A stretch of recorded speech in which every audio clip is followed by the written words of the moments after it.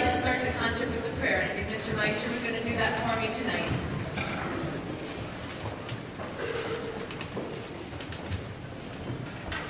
In the name of the Father, the Son, and the Holy Spirit. Amen. O Lord, please bless this concert, and and that all are here, that it might glorify your name. May the talent that you have bestowed upon these musicians and their instructors be used only to serve you. Let this music be a witness to your majesty and love. Remind us that you are always watching and listening from your throne of love. May your presence and beauty be found in every note. May your spirit guide us through every measure so that we might be instruments of your peace and proclaim your glory with glad voices. Let us pray. Lord God, you get down on your knees among us. You get on our level and share yourself with us. You share yourself generously and graciously. Please help us to keep working toward you during this Advent season. Amen. The Father, Son, and Spirit. Amen.